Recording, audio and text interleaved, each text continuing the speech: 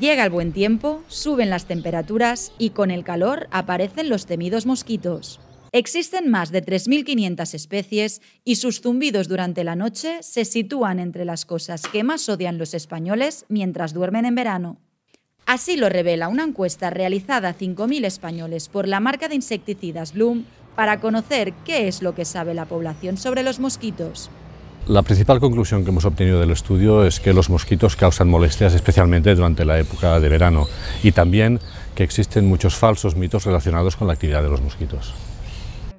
A una amplia mayoría, el 80%, le preocupa la posible transmisión de enfermedades o sufrir una reacción alérgica derivada de las picaduras.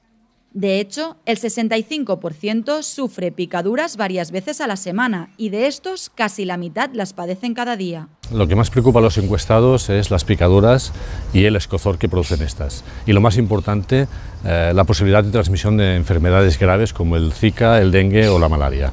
En este sentido, Bloom y su gama de productos ofrece una protección para el hogar, tanto exterior como interior, eh, para evitar precisamente este aspecto más molesto de las picaduras de los mosquitos.